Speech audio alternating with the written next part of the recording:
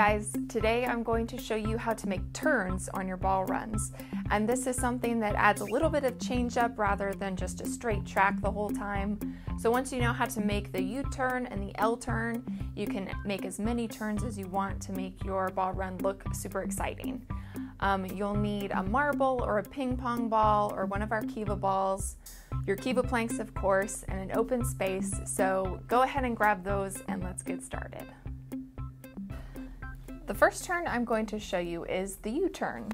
So to start off, we're going to stack five planks together and lay them right about there. Then we're going to take four planks and lay them about a plank's length apart. And we can always move these to make sure it lines up the way we want it to. Take three. You can see that we're descending gradually.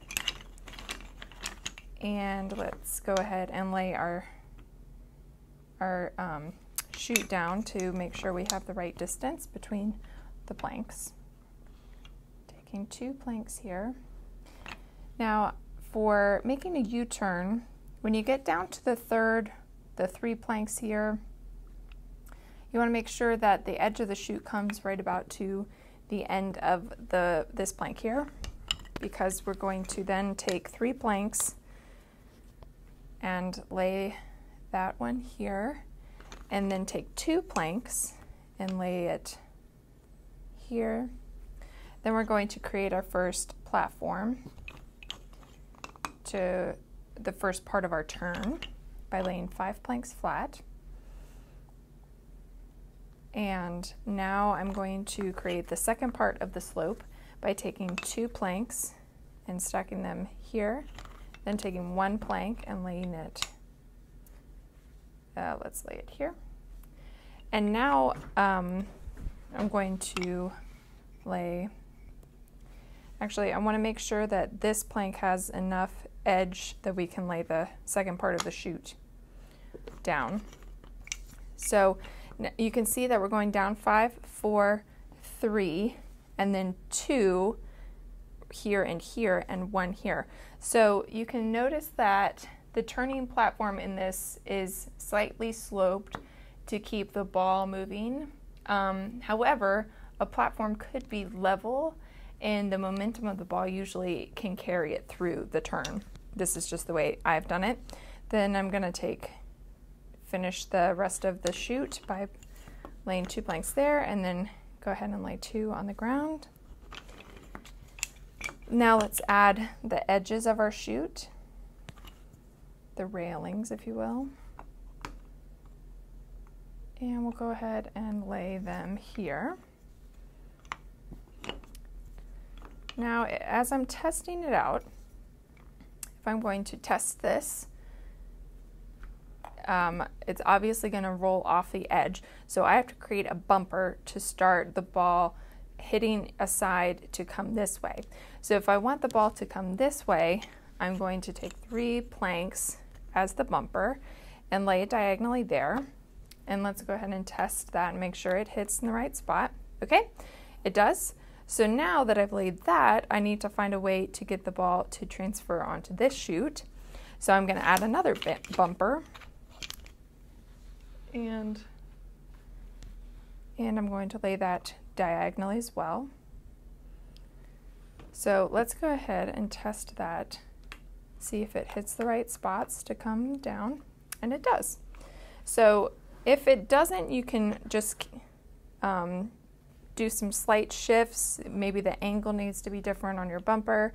Um, you can just play along and experiment with that to make sure it hits the right spot as you go. So it might be slower there, so I'm going to maybe get those closer together. And that seems to work pretty well. So this is the example of the U-turn.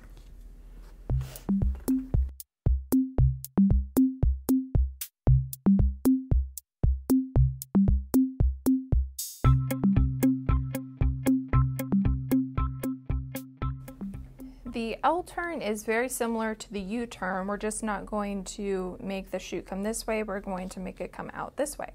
So um, let's go ahead and take these down. And we're starting with five, four, three, two. And uh, it doesn't matter whether you're starting this on the ground or up on a trestle, as long as you have that, um, that decline or that slight gradual uh, gradient, then um, it doesn't matter what height you're doing it. You can add an L turn at any point on your on your ball run.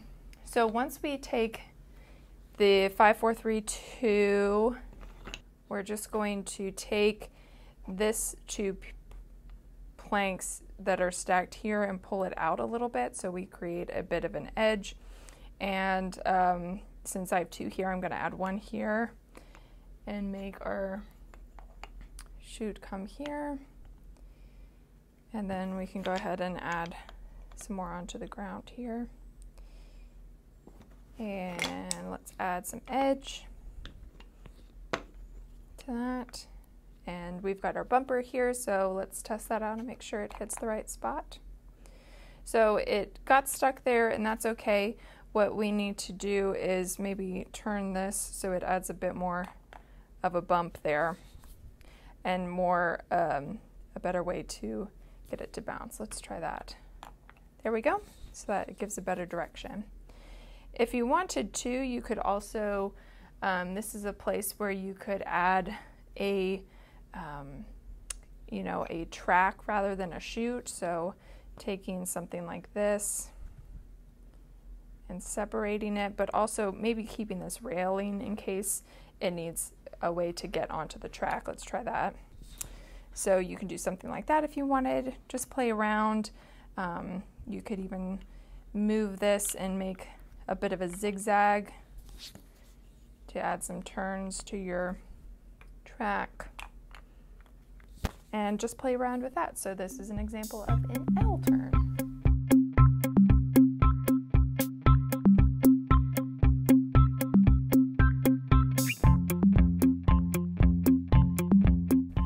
I hope you guys enjoyed this video. If you did, please like and subscribe to our channel for more videos like this one. And uh, if you have any suggestions on what to build next, you can leave it in the comments so we can hopefully do something like that in the future. And please follow us on our social media because we'd love to see what you create so you can share those with us. And uh, thanks for joining me. We can't wait to see what you create.